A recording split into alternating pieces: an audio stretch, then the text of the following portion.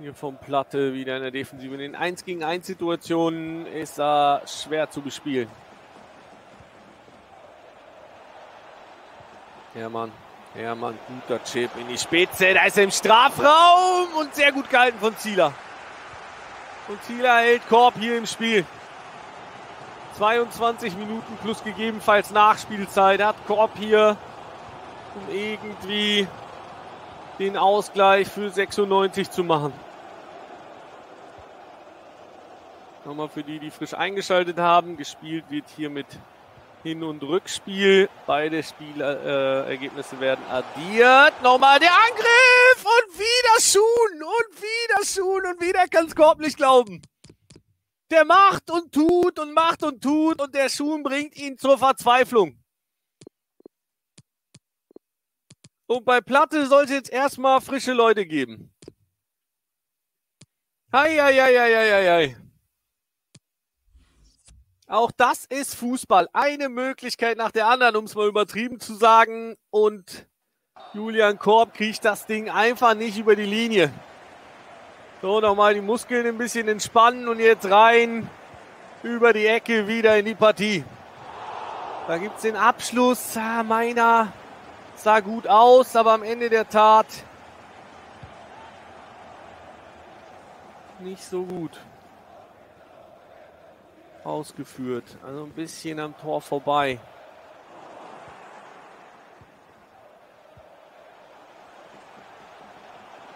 Stehle.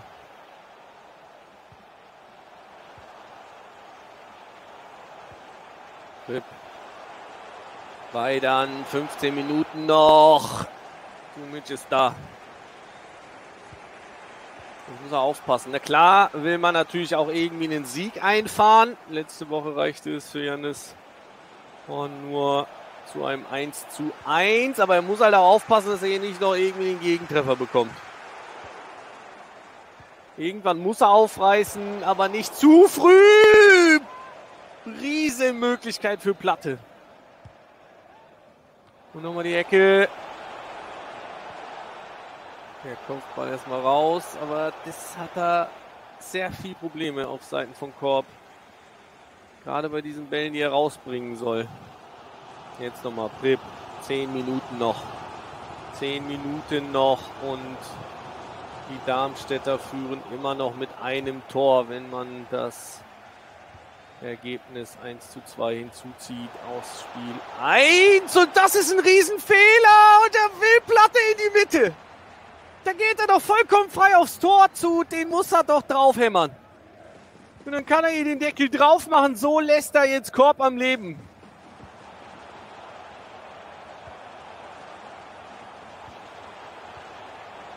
Feidern. Flip. Die Zentrale ist zu. Nochmal in die Mitte. Aber der Ball wieder raus. Fünf Minuten noch. Die Zeit läuft langsam, aber sicher ab für Felix Platte. Ball geht vorbei. Ich weiß nicht, ob dann ein 96er dran war.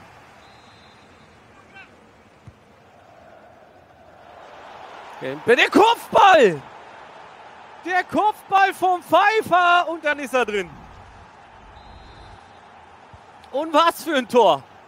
Damit habe ich nicht gerechnet. Kopfbälle sind nicht so effektiv, aber natürlich, der ein oder andere kann halt mal rein.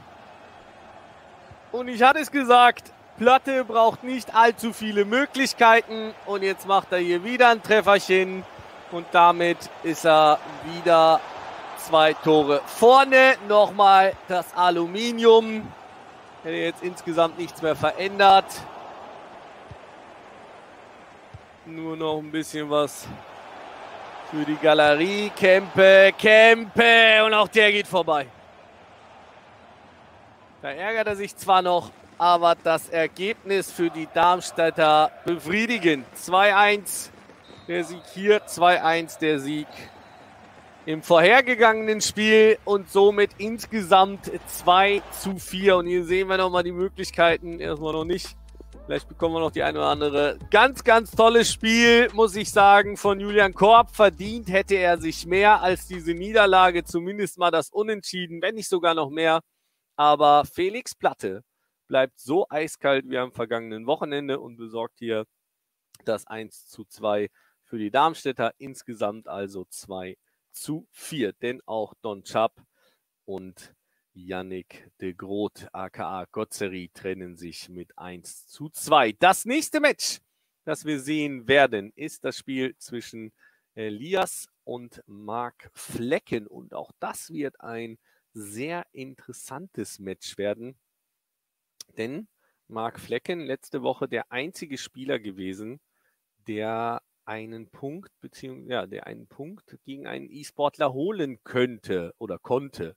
So, geholt hat er ihn auf jeden Fall. Und ich bin sehr gespannt, wie er sich schlägt jetzt gegen den Hertha-Profi Elias Nährlich. Das wird sehr, sehr spannend. Insgesamt Hertha gegen Freiburg mit dem letzten Duell im Dezember 2019.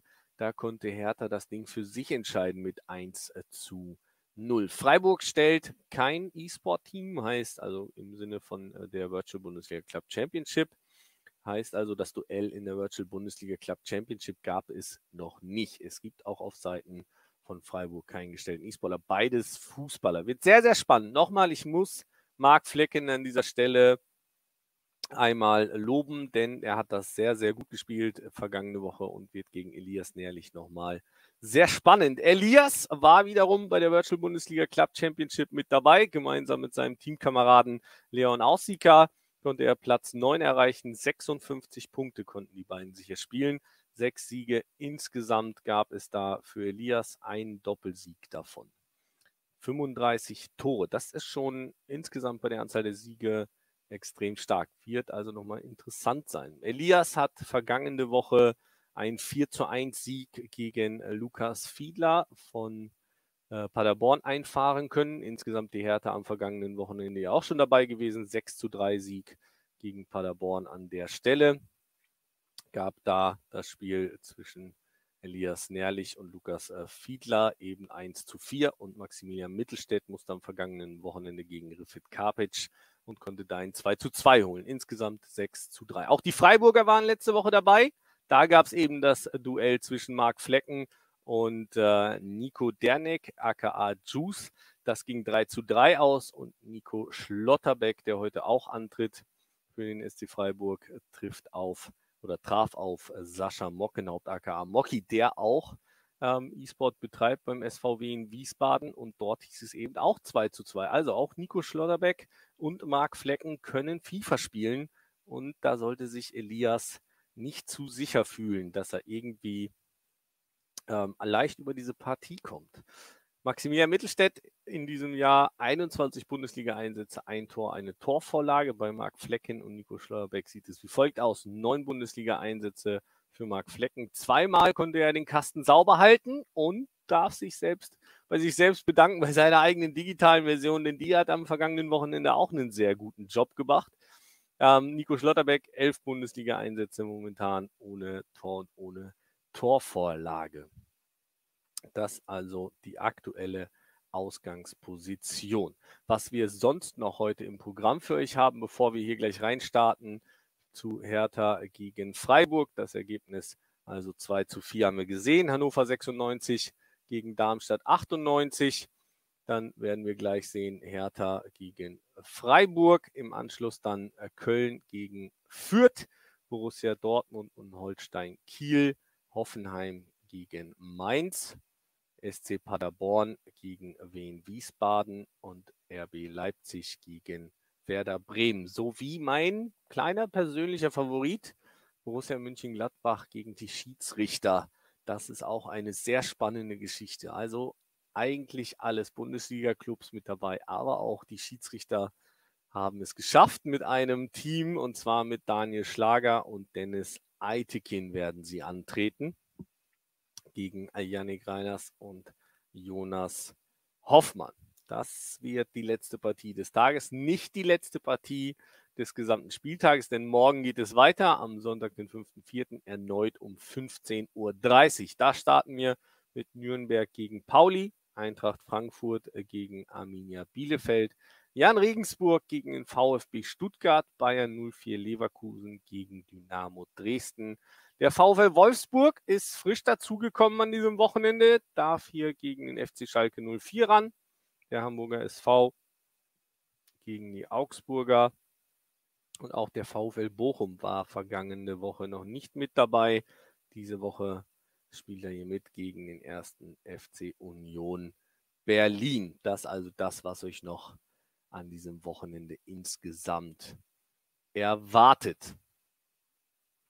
Ihr dürft natürlich äh, gerne mitdiskutieren. Einfach den Hashtag Bundesliga Home Challenge verwenden und dann auf den Socials gerne mal ein paar kleine Kommentare dalassen, wie es euch gefällt, was ihr gerne oder welcher Verein fehlt euch noch. Viele sind es nicht mehr, aber der eine oder andere ist ja noch nicht dabei. Ähm, welchen Verein würdet ihr gerne sehen oder welchen Profispieler möchtet ihr gerne sehen oder vielleicht welchen Schiedsrichter hättet ihr gerne im Team der Schiedsrichter mit dabei an den äh, kommenden Wochenenden. Denn auch nächste Woche wird es nochmal eine Bundesliga Home Challenge geben. Das steht schon mal fest und da freuen wir uns auf jeden Fall auch drauf. Ähm, ja, wir brauchen jetzt, Termin war 16.20 Uhr. Wir haben also noch gut 10 Minuten, die wir hier so ein bisschen überbrücken werden, bis wir dann tatsächlich mit dem nächsten Termin starten. Solange können wir nochmal in die Partien einzeln reingehen, wer uns erwartet. Also bei Hertha BSC Freiburg hatten wir schon besprochen gehabt. Elias Nährlich gegen Marc Flecken, Maximilian Mittelstädt gegen Nico Schlotterbeck. Da hat sich auch grundsätzlich nichts verändert. Die haben ihr Team beide genauso aufgestellt wie in der vergangenen Woche. Beim ersten FC Köln und bei Fürth gibt es auch noch keine Änderungen, denn Stranger trifft hier auf Fabio. Man muss allerdings sagen, hier treffen vielleicht die zwei der besten Offensivspieler der Virtual Bundesliga Club Championship aufeinander. Stranger konnte in der vergangenen Club Championship Saison 60 Tore schießen, ist damit knapp hinter Megabit auf Platz 2 auf der Torschützenliste.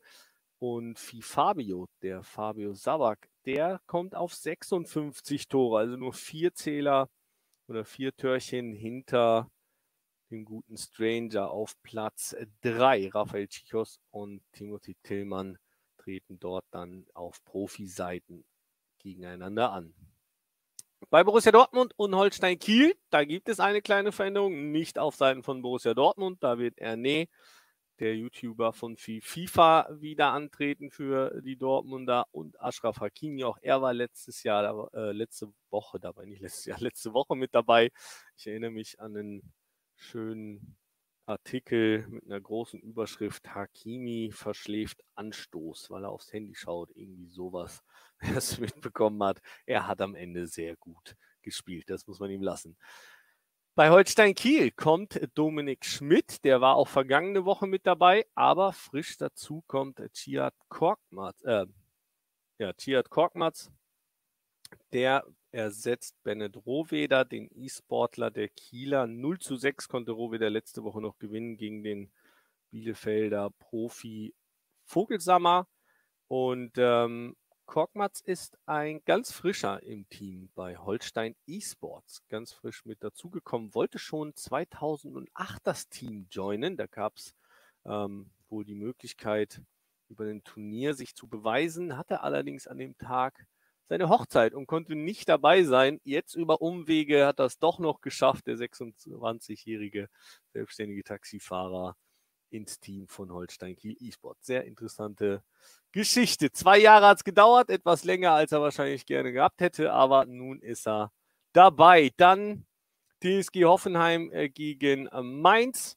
Da gibt es auch eine kleine Änderung und zwar ist letzte Woche angetreten Daniel Bosinski. Der Außenverteidiger hat gegen Hakimi gespielt vom BVB und konnte da ein 2 zu 2 holen. Heute wird der Torwart vom ersten FSV Mainz 05 auflaufen, Florian Müller. 22 Jahre jung, hat hier also nichts zu befürchten. Auf der anderen Seite Marcel Schwarz und Munas Dabur. Im Spiel um 19.40 Uhr SC Paderborn gegen BN Wiesbaden tritt Lukas Fiedler an gegen Simon Bremo Döring. Auch Simon Bremo Döring ist ein neuer Name in unserer Liste. Vergangenes Wochenende ist da aufgelaufen Nico Derneck, aka Juice, beides E-Sportler von Wien Wiesbaden. Juice hatte gegen Marc Flecken vom, von den Freiburgern ein 3 zu 3 geholt.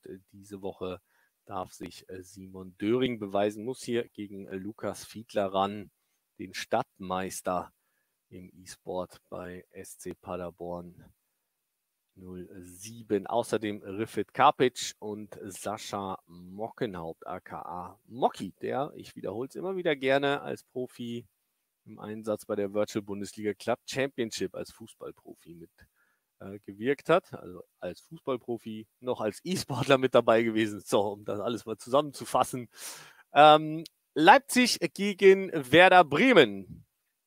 Da gibt es die meisten Wechsel und zwar bei Werder Bremen. Leipzig läuft ähnlich auf. Er setzt nur Gian Yasala, der letzte Woche das 1 zu 1 gegen den HSV E-Sportler Umut hatte. Nordi Mukiele bleibt auf dem Platz und es kommt Moritz Mede dazu.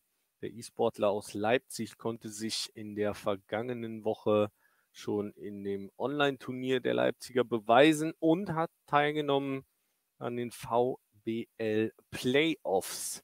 Und auf der anderen Seite Werder Bremen. Letzte Woche noch mit Megabit unterwegs gewesen auf Seiten äh, der oder beziehungsweise auf der E-Sport-Seite, wenn man das so sagen darf. Man darf da natürlich einsetzen, wie man will, aber aus dem E-Sport-Team diese Woche wird der Teamkollege von Megabit Dr. Erhano auflaufen.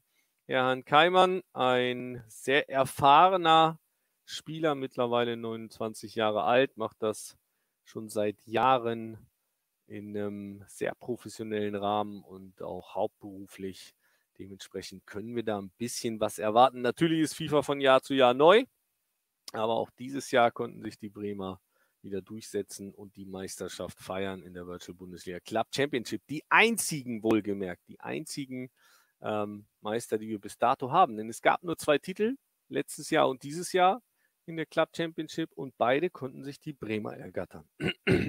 Und dann haben wir Davy Selke mit am Start bei den Bremern. Der ersetzt Maximilian Eggestein. Der hatte 1 zu 4 verloren gegen Tim Handwerker. Das war eben aus meiner Sicht schon fast die spannendste Partie in der vergangenen Woche. Und dann ganz frisch dabei, die habe ich schon mal erwähnt und nochmal gesagt, die beiden Teams gab es letzte Woche gar nicht im Aufgebot. Borussia München-Gladbach tritt an mit Yannick Reiners, äh, aka Jeffrey95 und Jonas Hofmann. Die Schiedsrichter mit Daniel Schlager und Dennis Eitekin. Das die Partien, die wir heute sehen werden. Und langsam aber sicher kommen wir zur Partie um 16.20 Uhr und da möchte ich euch gerne ein bisschen näher einführen ins Spiel zwischen Hertha BSC und dem SC Freiburg. Das letzte Aufeinandertreffen gab es im Dezember 2019. 1 zu 0 konnte sich der Hertha durchsetzen. Momentan die Platzierung der beiden Vereine. Hertha auf Platz 13 nach 25 Spieltagen mit 28 Punkten. Das alles sind Daten aus dem reellen Fußball. Die werden hier nicht unbedingt eine Rolle spielen. Vermutlich nicht nur nicht unbedingt, sondern gar nicht. Und äh, auch der äh, SC Freiburg mit einer sehr guten Saison, Platz 8 aktuell, 36 Punkte. Sehr gut in die Saison gestartet. Leicht geschwächelt, wenn ich das mal so sagen darf. Ähm, in der Club Championship gab es die Freiburger nicht. Sie waren nicht mit dabei, stellen also kein E-Sport-Team in dem Wettbewerb. Hertha wiederum schon, erreichte Platz 19, konnte 56 Punkte ergattern. Das Spiel zwischen Elias Nährlich und Marc Flecken hatte ich vorher auch schon mal thematisiert, wird ein sehr interessantes Spiel. Man sagt, äh, letzte Woche habe ich noch immer gesagt, hey, ganz schwierig einzuschätzen, wie die Fußballer hier unterwegs sein werden. In dieser Woche sage ich, Marc Flecken haben wir letzte Woche gesehen und ich bin überzeugt, dass äh, ein Marc Flecken sehr, sehr gut performen kann gegen eben Elias Nährlich. Natürlich ist Elias immer noch etwas erfahrener, hat seine ganze Saison im 85er-Modus in der Virtual Bundesliga Club Championship gespielt, aber auch unsere Fußballer spielen FIFA 20 und das zum Teil sogar sehr erfolgreich. Ähm, schaffen es für diejenigen, die etwas tiefer in der Materie sind, an den Wochenenden auch mal in die Top 100 An den Wochenenden werden wird die sogenannte Weekend League gespielt. Dort kann man bis zu 30 Spiele absolvieren, wenn man die Zeit hat und das gerne möchte. Und umso mehr Spiele man eben gewinnt, umso besser wird man am Ende in diesem Ranking gesiedet werden. Und das gelingt dem einen oder anderen Fußballspieler eben erstmal 30 Spiele zu absolvieren, dann davon so viele zu gewinnen, dass man tatsächlich in den Top 100 landet. Also heißt, dass man in den meisten Fällen auf der PlayStation 30 Siege tatsächlich auch geschafft hat. Ähm, also sehr, sehr spannend. Und der gute Herr Flecken, den würde ich fast schon ein wenig in diese Kategorie zählen. Denn das, was er gegen Nico Dernig, aka Juice, am vergangenen Wochenende abgerissen hat, das sah schon richtig gut aus. Und somit würde ich sagen, rein ins äh, zweite Spiel des heutigen Spieltags, ins erste Match zwischen Elias und Marc, zwischen Elias und Marc Flecken. Das die Partie. Ja, da wird bei Elias nochmal natürlich die Kamera eingestellt, ganz klar. Muss ja passen. Gibt es nochmal ein Lächeln und dann wird es aber tatsächlich ernst für die beiden. Von links nach rechts, er der BSC und der SC Freiburg von rechts nach links. Elias gegen Marc Flecken. Elias in blau und weiß, Marc Flecken mit dem SC Freiburg in rot und schwarz. Skielbrett auf Luke Bacchio. Der erste Angriff ist immer einer der gefährlichsten. Natürlich hast du erstmal den Ball und dann gibt es so eine gewisse Unordnung, bis das Spiel tatsächlich in den geregelten Fluss gelaufen ist. Bacchio, Ball in die Mitte, aber gut verteidigt hier von Flecken. Das war sauber, das war wichtig. Den ersten Angriff hat er abgewehrt und jetzt darf er selbst einstarten. Petersen hat letzte Woche für Flecken genetzt. Haberer.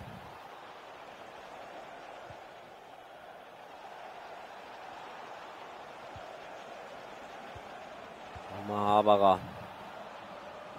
Flecken lässt sich viel Zeit. Elias verteidigt sehr passiv, aber Flecken sucht die Lücke. Lässt sich da also nicht provozieren, den Ball zu schnell in die Spitze zu spielen. Jetzt ein kleiner Fehler, den Ball Kunja direkt in den Fuß. Und die Möglichkeit hier für Elias selber in Richtung Strafraum zu gehen.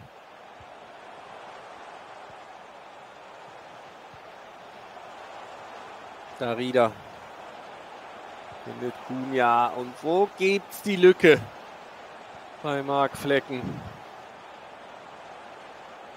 Wie heißt es zu finden? Skjelbrett. Kiprit. Kiprit Richtung Strafraum. Gut verteidigt von Haberer. Müller mit dem Dragback. Jetzt gibt es ein bisschen Raum. Könnte über die linke Seite gehen. Will wieder über rechts nochmal in die Mitte. Petersen. Ja, da hätte er vielleicht den Seitenwechsel suchen müssen. Aber nochmal, das sagt sich immer so leicht, wenn man von oben drauf schaut und am Ende halt auch darüber richten darf, was der andere macht. Luke Bacchio, Elias in Richtung Strafraum, aber sehr gut wieder dazwischen gegangen da von Flecken. Ah, unsauber gespielt. Nochmal Elias mit dem Angriff. Ball in die Spitze, das macht er richtig gut. Das Timing passt allerdings nicht. Abseits ist es, sagt der Schiedsrichter. Und da muss Marc aufpassen. Das hatten wir gerade zu Beginn der Partie auch letzte Woche, dass Marc Flecken immer wieder so kleine Aufbaufehler gehabt hat, die dann eben seinem Gegner zu genau solchen Situationen verholfen haben. Hier hat er Glück, dass es abseits ist, aber wenn er das abgestellt bekommt, was er dann irgendwann im Laufe der vergangenen Partie gegen Nico Derneck geschafft hat und vorne eben seiner Kreativität freien Lauf lässt, dann wird es hier richtig schwer für Elias.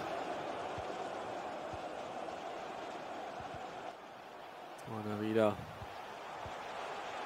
Er kommt gut, schönes Kombinationsspiel. Kunja, Kunja! Und dann ist er drin. 1-0 Erta, 1-0 Elias. Und es war wieder so ein kleiner Moment. Und bei Elias fällt vor Freude offensichtlich die Kamera wieder runter. Scheint nicht ganz zu halten. Aber gut, wird er sich sagen. Der Ball ist drin. Was soll der Geiz? 25 Minuten gespielt. 1-0 Führung für die Hertha. Die Antwort von Flecken, Fragezeichen, hat den einen zu viel. Da muss er in die 1 gegen 1 Situation gehen. Da muss er in die 1 gegen 1 Situation gehen, will es hier zu schön ausspielen und jetzt gibt es den Konter von Elias über Ibisevic. Ibisevic Richtung Grundlinie, Ball in Rückraum. Oh, Flecken, das musst du anders lösen. So gutes Spiel in der vergangenen Woche gemacht.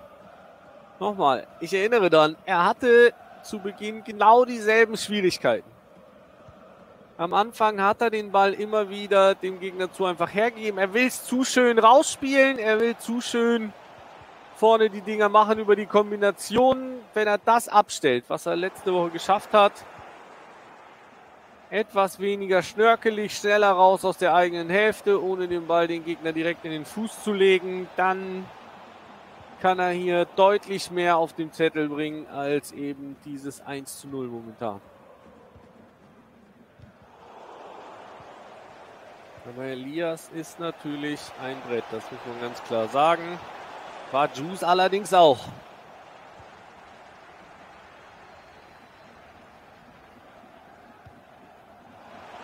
Guter Ball auf Luke Bacchio. Luke Bacchio im Strafraum. Aber auch wieder ein Verteidiger dran. Wegball. Ja, die hohe Variante, der Kopfball nochmal im Rückraum und diesmal Flecken ohne Probleme. Erstaunlich viele hohe Flanken, die heute gebracht wurden. Ist eher ungewohnt, vor allen Dingen auch eigentlich im Spiel 1 bei Hannover gegen Darmstadt zwischen Don Chap und Gotzeri. Da gab es auch viele hohe Flanken. Die Sportler neigen dazu, das Ding eher flach auszuspielen. Petersen. Petersen kommt da nicht durch. Aber in Ansätzen wird es langsam besser bei Marc Flecken. Ibisevic. Ibisevic treibt. Da ist Günther dran. Und nochmal vor der Halbzeit für Marc Flecken die Möglichkeit. Das ist zu simpel, aber da kommt Höhler direkt dran. Gibt es nochmal eine Möglichkeit? Nein, Darida setzt sich durch im Zweikampf. Und dann könnte es vielleicht noch einen für Elias geben. Kunja. Und in der Mitte ist eine, zwei, drei Anspielstationen aber stark mit Schmidt hier aufgepasst. Und Marc Flecken und so gehen wir in die Halbzeit. Es bleibt bei der engen 1 zu 0 Führung für Elias. Die Abschlüsse fehlen auf Seiten von Marc Flecken noch nochmal. Da kann noch ein bisschen sich was steigern. Viel haben sie nicht getan in der Halbzeitpause. Wir gehen recht fix wieder in Halbzeit 2. Und Anstoß für die Freiburger Anstoß für Flecken.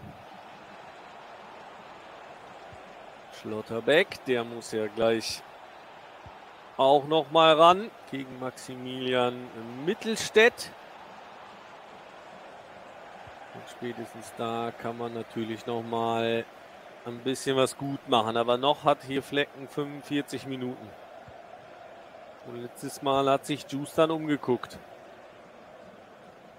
Ich denke mal, Elias wird daraus gelernt haben und die Konzentration wird hoch sein. Ibisevic. Skjelbrett. Kipret kommt nicht durch. da ärgert sich Elias. Der will gerne mehr. Der würde gerne eine Zwei-Tore-Führung weitergeben an Maximilian Mittelstädt. Bis hierhin reicht es nur für einen Treffer. Und er muss halt aufpassen. Wenn du einen Moment nicht aufpasst, dann geht es plötzlich schnell in Richtung deines Strafraums und dann steht es auf einmal 1 zu 1. Alles, was du aufgebaut hast, ist dahin. Höhler. Höhler kriegt den Ball nicht in die Mitte.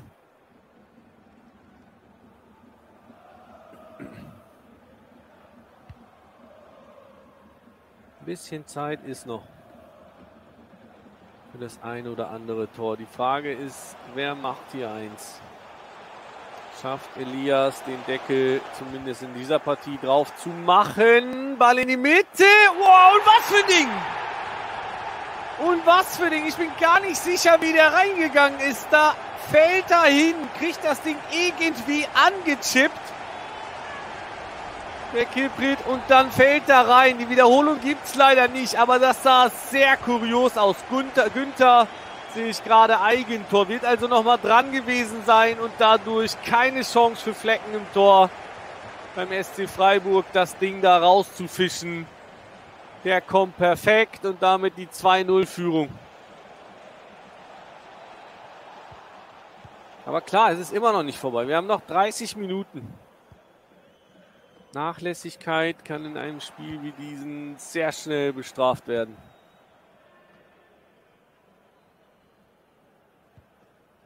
Aber findet Schlotterbeck, der immer noch ein bisschen was gut machen kann. Petersen.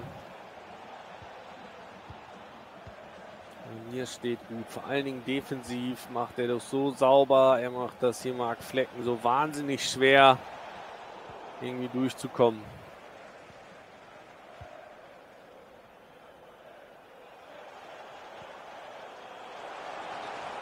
Guter Ball. Allerdings auch hier wieder im Abseits. Und jetzt gehen wir ins Pausenmenü.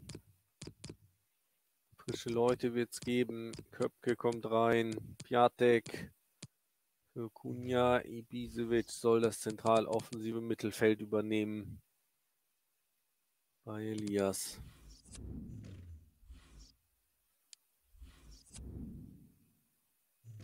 Wir sehen es auch in der Statistik. Es fehlen momentan die Abschlüsse für Mark Flecken. Da muss er sich steigern. 25 Minuten hat er noch. Da kann noch einiges passieren. 25 Ingame-Minuten wohlgemerkt. Das sind natürlich keine 25 echten Minuten, aber da kann noch einiges passieren. So allerdings nicht den Ball zu einfach dem Gegner in den Fuß gespielt. Und guter Chip hier von Elias. Der kommt über Piatek. Der ist frisch zieht in die Mitte, aber Flecken bekommt das verteidigt. Schlotterbeck allerdings unsauber Ball im Aus, gibt Eckball. Kopfball. Irgendwie landet der Ball im Rückraum und dann ist er drin. Vedat Ibisevic mit dem 3 zu 0. Und auch das ist noch kein Tor, bei dem Elias stolz drauf ist, schüttelt mit dem Kopf. Kann selber kaum glauben, dass der so wieder reingeflogen ist. Aber so ist Fußball manchmal. Das nimmt man mit, was man bekommt. Und es ist dann erstmal eine komfortable Führung von 3 zu 0. Vor allen Dingen dann am Ende komfortabel für Maximilian Mittelstädt, der gleich gegen Nico Schlotterbeck ran darf. Aber Elias nochmal, wieder Ibisevic, wieder in die Mitte und der ist richtig gut gespielt. 4-0. 4 zu 0. Die Führung jetzt für die Hertha. Köpke.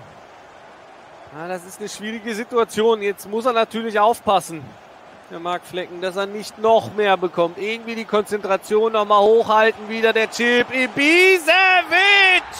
Und was für ein Ding!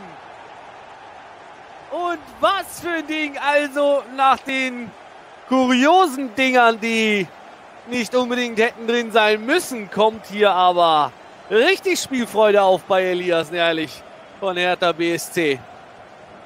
Klasse gespielt, super verarbeitet, direkt den Chip genommen und das Ding reingehauen. 5 zu 0, das Ding ist zumindest an dieser Stelle durch.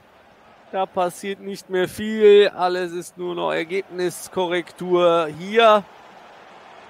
Der ein oder andere Treffer für Mark Flecken würde schon gut tun, allein fürs Rückspiel. Denn so muss Nico Schlotterbeck gleich fünf Tore auf. Und das klingt zumindest mal schier unmöglich. Kibrit Darida muss aufpassen, dass er nicht noch einen bekommt. Nochmal Kibrit. Guter Ball auf Darida. Und der haut ins Kurze rein. 6 zu 0. Das ist eine herbe Klatsche.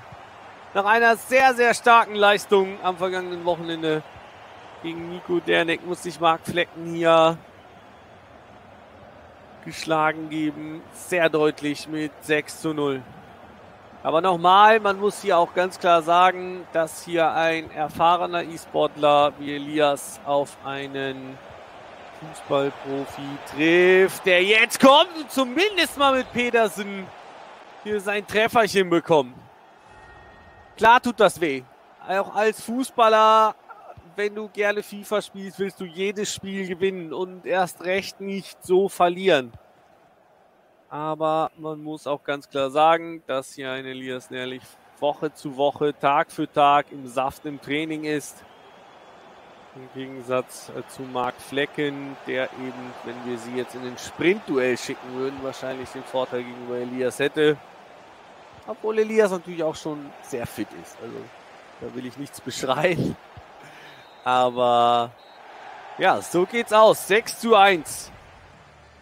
6 zu 1. Und das ist ein sehr, sehr dickes Brett, das Nico Schlotterbeck hier jetzt zu Segen bekommt gegen Maximilian Mittelstädt.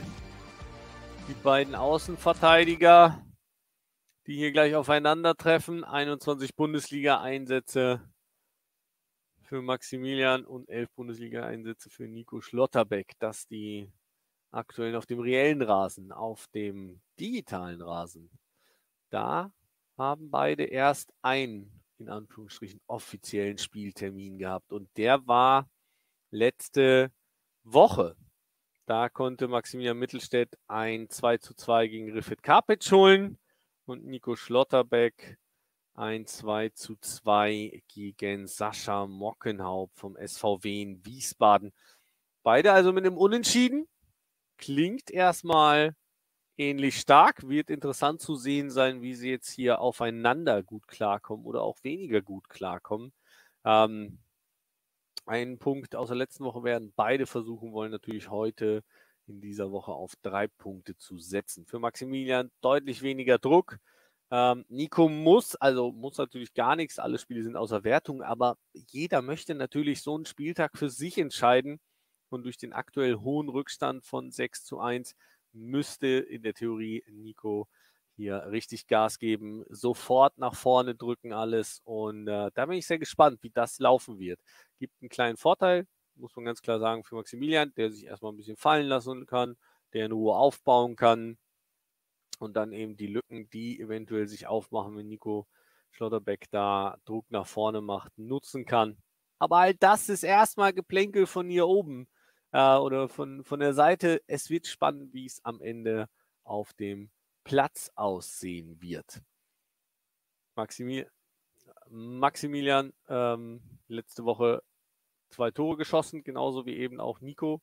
Ähm, ja, Tore schießen geht, aber eben noch zwei Tore kassiert. Das ist der nächste Punkt. Man muss hier versuchen, Defensive und Offensive in einen Einklang zu bringen. Das wird den Jungs dann hoffentlich gelingen. Wir warten einen Moment, bis die dann ihre Connection beisammen haben und starten dann äh, rein. Das letzte Duell von Hertha gegen Freiburg konnten die Jungs von Hertha BSC für sich entscheiden auf dem reellen Platz 1 zu 0 und momentan eine sehr deutliche Führung und es sieht sehr danach aus, als könnten sie auch auf dem virtuellen Platz das Ding für sich entscheiden. In dieser Begegnung gab es tatsächlich noch gar nicht. Bei der Virtual Bundesliga Club Championship sind die Freiburger nicht vertreten, die Hertha schon, aber das bringt uns nicht weiter, wenn eben die Freiburger nicht dran sind. Das heißt, das ist das erste digitale Aufeinandertreffen dieser beiden Clubs. Nochmal, Spiel 1 sollte man nicht überbewerten. Das ist halt einfach ein Spiel zwischen einem E-Sport-Profi und eben einem Fußballprofi, die durchaus nicht die gleichen Veranlagung haben. Der eine eben auf dem reellen Rasen, Profi, der andere auf dem digitalen. Und dementsprechend sind wir sehr gespannt und nehmen das vielleicht so ein bisschen außer der Wertung und freuen uns auf Maximilian Mittelstädt gegen Nico Schlotterbeck. Denn die beiden das sind Fußballprofis, die aufeinandertreffen und da wird es dann richtig heiß umkämpft sein. Hoffentlich. Hoffentlich. Auch da gibt es durchaus Unterschiede. Wir schauen mal drauf, was ansonsten gleich noch ansteht. Im Anschluss dann der erste FC Köln gegen Fürth. Um circa 17.10 Uhr Borussia Dortmund gegen Holstein Kiel. Um circa 18 Uhr die TSG 1899 Hoffenheim. Um 18.50 Uhr gegen den ersten FSV Mainz 05. Der SC Paderborn trifft auf SVW in Wiesbaden. Leipzig muss gegen Werder Bremen ran. Und Borussia München-Gladbach neu in dieser Woche mit dabei, genauso wie die Schiedsrichter, die eben aufeinandertreffen. Zwei neue Teams, alles Bundesliga-Teams, die Schiedsrichter auch allerdings eben Schiedsrichter und keine Fußballspieler. Das wird sehr interessant. Da übrigens dann auch der älteste Teilnehmer am heutigen Tag mit dabei und das ist Dennis Eitikin, 41 Jahre jung. Und ich würde sagen, wir schauen uns mal an, was die Jungs da jetzt aufs Feld bringen, welche Formationen, welche Aufstellungen. Ich sehe, sie sind bereit, stellen auch schon ein bisschen ein. Und äh, da freuen wir uns auch. Wenn ihr mitdiskutieren wollt, könnt ihr das gerne tun auf den Social Media Kanälen. Verwendet einfach den Hashtag Bundesliga Home Challenge und ihr seid mit dabei in der Diskussion. Wir widmen uns jetzt dem Spiel Maximilian Mittelstädt gegen Nico Schlotterbeck.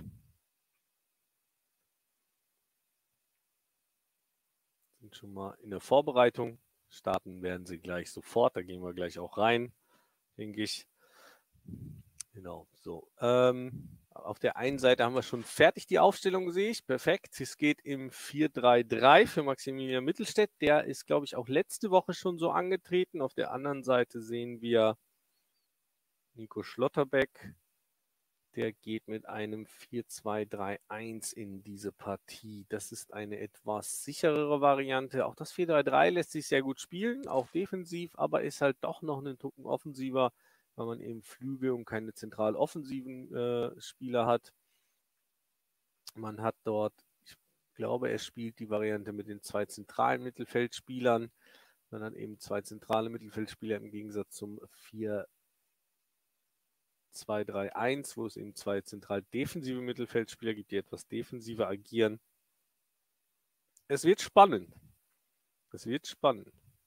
Gerade Nico, der eigentlich ja ein bisschen offensiver agieren sollte, geht hier mit einer leicht defensiveren Variante rein. Auf der anderen Seite geht es auch vielleicht darum zu sagen, hey, erstmal hinten sicher stehen und dann gucken, was am Anfang passiert. Und wenn ich ein bisschen an dieser Sensation schnuppern kann, dann gehe ich etwas offensiver und versuche da meine Formation dementsprechend anzupassen und das Ganze auch dahingehend zu verändern, dass ich dann das ein oder andere Tor noch mehr schießen kann. Aber erstmal, wie gesagt, im 4-2-3-1. Die ist definitiv etwas defensiver als die 4-3-3. Aber da muss auch Maximilian Mittelstädt aufpassen, dass er nicht irgendwie in die Bedrulle gerät am Ende, weil er sich immer wieder die Konter fängt. Auch das wird spannend sein, was da passiert. Aber jetzt erstmal rein in diese Partie.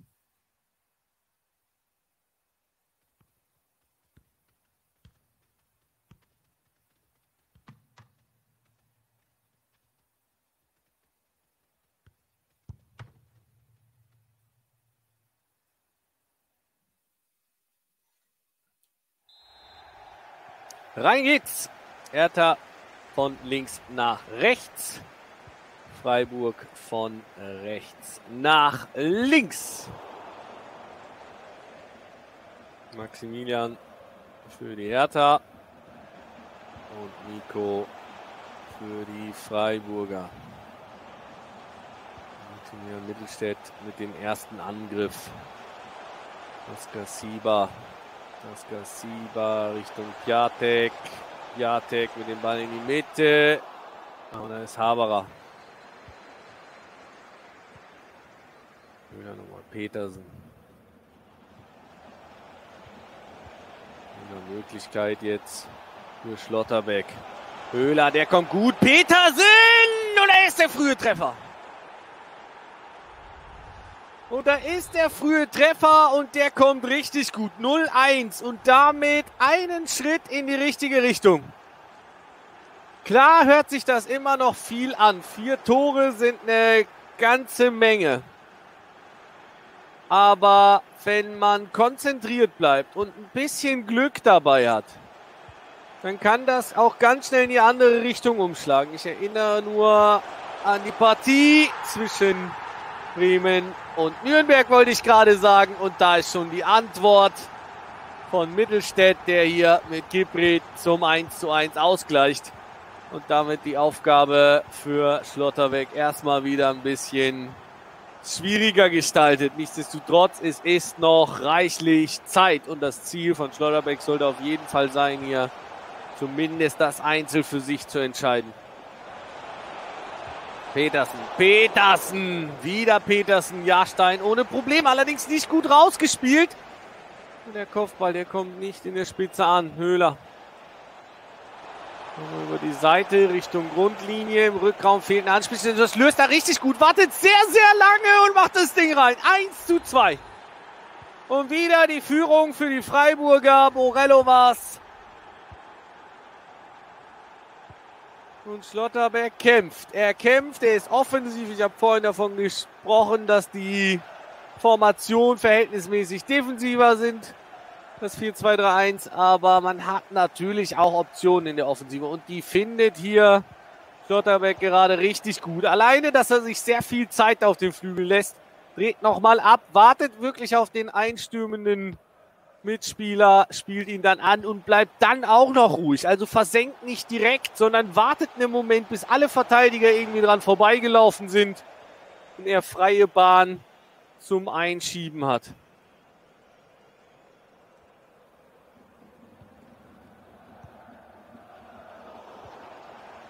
Zeit ist noch da. Möglichkeit wieder in Mitte Petersen. Ah, Höhler dazwischen. Ah, Höhler, Entschuldigung, die Hertha dazwischen. Höhler sollte den Pass bekommen, den hat er nicht bekommen. Schmidt.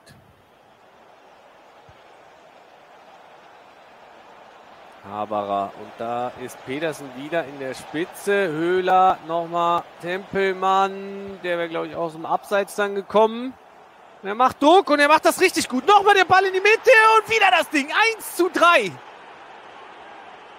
1 zu 3 und Nico Schlotterbeck fightet. Und jetzt muss Maximilian Mittelstädt aufpassen. Jetzt sind es nämlich nur noch drei Tore Vorsprung, wenn man das Gesamtergebnis zusammenzieht. Und das bedeutet vielleicht nochmal Zittern am Ende. Vorhin konnte er noch einen reinsetzen, damit erstmal für Nico Schlotterbeck das Ganze etwas schwieriger gestalten, aber der scheint sich davon überhaupt nicht beeinflussen zu lassen. Tempelmann. Nochmal Höhler. Auf Kart, guter Ball. Petersen wieder klasse gemacht. Richtig gut. 1 zu 4, da wirst du ja verrückt. Da wirst du ja verrückt. Der Schlotterbeck dreht hier richtig auf. Und er spielt das kongenial. Und das muss man einfach mal so sagen. Er spielt das richtig gut. Die Spielzüge sind durchdacht. Er lässt sich Zeit, spielt die Pässe nicht blind und kommt wieder über Borello. Und im Rückraum Petersen. 1 zu 5. Und es ist nur noch ein Tor und es ist so viel Zeit. Es ist so viel Zeit. Was ist hier denn los? Da wirst du ja verrückt. Und er sieht nicht mal angestrengt aus. Der lacht noch. Der lacht noch und weiß noch, dass er weitermachen kann. Darida erstmal dazwischen und äh, Maximilian Mittelstädt muss jetzt so langsam aber sicher aufwachen. Und wieder der Ballgewinn für Nico Schlotterbeck. Petersen. Höhler, wo geht's hin? Petersen startet schon wieder durch, wird wieder mitgenommen. Höhler. Fuß dazwischen und die Hertha kann erstmal durchatmen. Maximilian Mittelstädt kann erstmal durchatmen. Kunja über Piatek. Piatek mit der Flanke, aber der Keeper ist da. Es ist noch so viel Zeit und nur noch ein Tor. Petersen auf Höhler. Und drüben ist die Anspielstation. Petersen, Höhler, Höhler! Unfassbar 1-6! Unfassbar 1-6 und wir haben noch nicht mal Halbzeit 1 durch. Heieieiei, Nico Schlotterbeck dreht maximal auf. Und klar freut er sich da. Das Ding ist ausgeglichen. Ab jetzt sind alles, alles, ist alles offen. Ab jetzt ist alles offen. Und Maximilian Mittelstädt weiß gar nicht, wie ihm geschieht. Und Elias weiß vermutlich nicht, wie das passieren konnte. Mit fünf Toren Vorsprung hat er gedacht, kann der Maximilian hier einfach das Spiel runterfahren, aber nein. Nico Schlotterbeck bricht hier alle Dämme. Jetzt kommt er nicht durch. Nochmal Mittelstädt, wieder nicht durch. Borello vorne in die Sturm, im Sturm Petersen. Erstmal wieder verteidigt. 45. Spielminute, das darfst du dir nicht erlauben, Höhler. Petersen in der Spitze, Petersen mit dem Jackback, Höhler nochmal und er dreht die Partie noch bevor die Halbzeit zu Ende ist. 1 zu 7, was für ein Match. Nico Schlotterbeck, was für ein Mentalmonster. So gut du auch bist, wenn du dann das 1 zu 0 machst und das 1 zu 1 direkt bekommst, dann kannst du eigentlich nur einen Tiefschlag erhalten. Aber den Jungen interessiert das gar nicht. Der macht hier weiter. Der hat Spaß an der Freude. Der hat Lust auf die Bundesliga Home Challenge. Und wenn ihr da auch Lust drauf habt, Ihr dürft uns das gerne mitteilen. Einfach den Hashtag auf den Social Media Kanälen benutzen. Hashtag Bundesliga Home Challenge. Ob Twitter, ob Instagram. Lasst uns wissen, was ihr davon haltet. Welcher Spieler euch fehlt, welchen Verein ihr noch gerne dabei hättet. Und vor allen Dingen, was ihr zur aktuellen Leistung von Nico Schlotterbeck in dieser Partie sagt.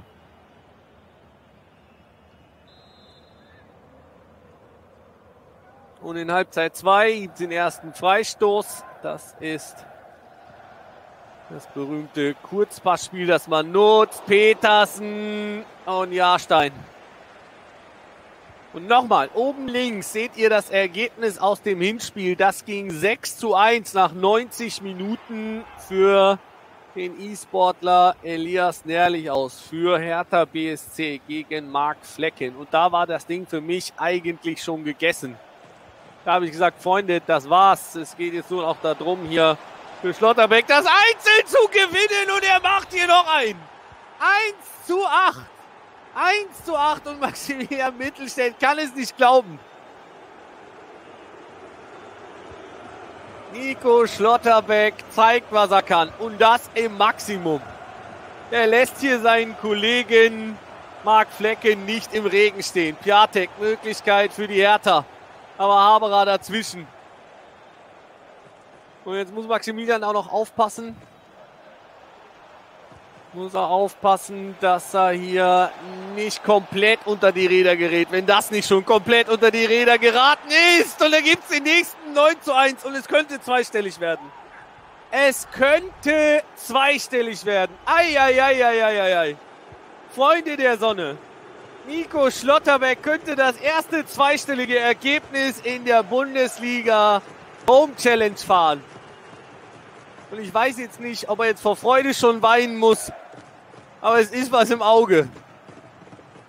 Und es ist noch so viel Zeit. Es ist noch so, ich meine, overall sind es nur noch drei Tore. Es ist auch genug Zeit für Maximilian Mittelstädt, aber der macht momentan nicht den Eindruck, als könnte er hier Schlotterbeck das Wasser reichen. Piatek im Abseits.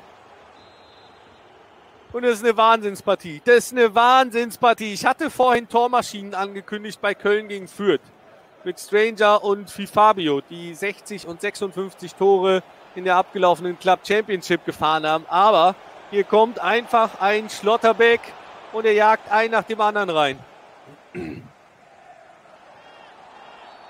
Der weiß gar nicht mehr, wohin mit den Toren.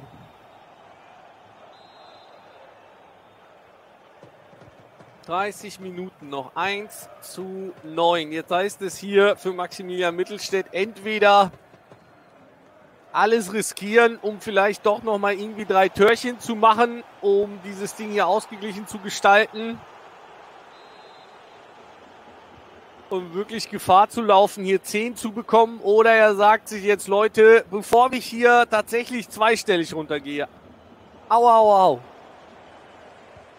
Kann alles passieren, ohne Frage. Ich habe es nochmal gesagt, auch bei den Profis wird es Unterschiede geben, also bei den Fußballprofis was die Qualität mit dem Controller angeht. Kunja und das ist die Latte und nochmal Piatek und Flecken mit der Riesentat. Und das wäre so wichtig auch fürs Selbstbewusstsein gewesen hier für Mittelstädt, aber den macht er nicht. Schlotterbeck auf Haberer. Hat Bringt den Ball lang in den Strafraum. Macht er hier das Zehnte? Nein. Jahrstein ist zur Stelle.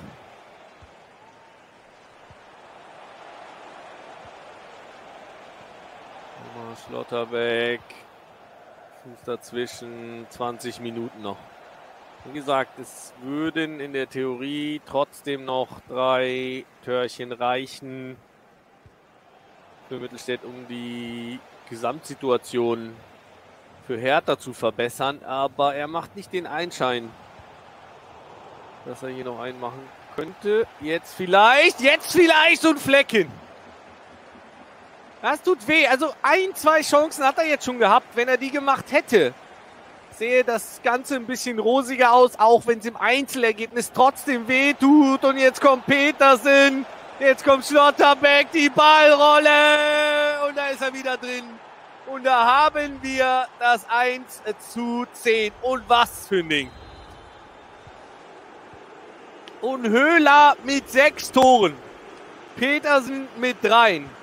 Und so kann's gehen. Hei, hei, hei.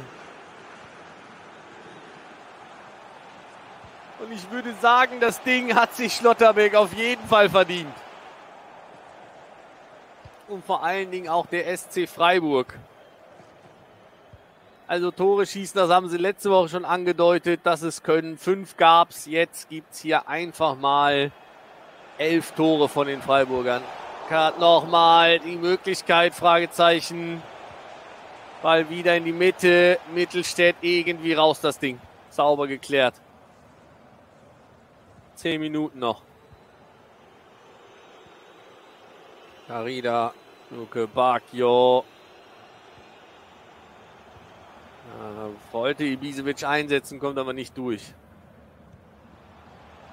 Ja, das Ding, das muss man sich erstmal auf der Zunge zergehen lassen. Du gehst mit einem Rückstand von fünf Toren in dieses Spiel und du machst am Ende zehn Stück und kassierst nur ein. Das ist eine wahnsinnige Leistung.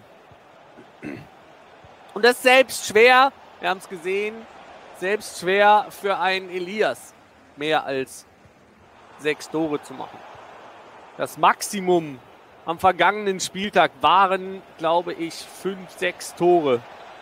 Und heute sind es einfach mal zehn und die kommen von einem Fußballprofi, von Nico Schlotterbeck. Und der sichert, und da bin ich mir sicher, da passiert nichts mehr dem SC Freiburg hier den Sieg. Nach einer herben Niederlage für Marc Flecken kommt einfach Schlotterbeck und regelt das. So kann es laufen, Freunde. Und deshalb sage ich immer wieder, man sollte kein Ergebnis unterschätzen.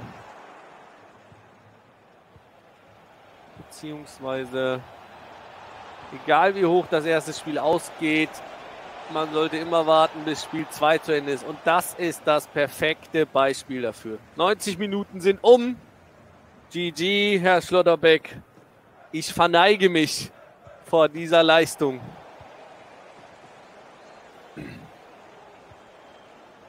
Aber wenn es läuft, dann läuft es manchmal. Borello, der Abschluss. Und noch ein 1 zu 11. Sieht auch auf der Anzeigetafel ein bisschen schöner aus. Mit den drei Einsen vorne drin. Wird sich wahrscheinlich hier Schlotterbeck sagen, aber der gute Herr Mittelstädt, der wird jetzt bedient sein, spätestens mit diesem Abpfiff. Und das war einmal drüber rollen, bitte. Vielleicht sollen wir uns ein paar Tutorials äh, besorgen von Nico. So kann es manchmal laufen. Nach einem 6 zu 1 endet diese Partie 7 zu 12. 19 Tore haben wir in dieser Partie gesehen. Du liebes Liedchen, Freunde. Das ist, das ist schon wow.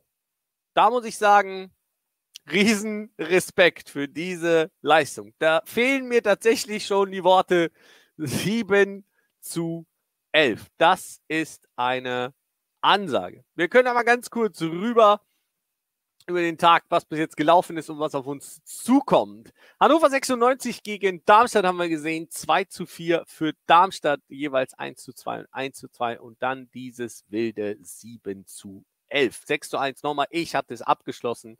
1 zu 10 am Ende das Ding beendet. Danach haben wir gleich nach einer kurzen Pause FC Köln gegen Fürth, Borussia Dortmund gegen Holstein Kiel, Hoffenheim gegen Mainz, Paderborn gegen Wien Wiesbaden, Leipzig gegen Werder Bremen und Borussia München-Gladbach gegen die Schiedsrichter. Und ich kann es nicht fassen, was wir ein tolles Spiel gesehen haben und ich freue mich auf das nächste gegen äh, für, äh, zwischen Köln und Fürth. Nach einer kurzen Pause sind wir wieder für euch da.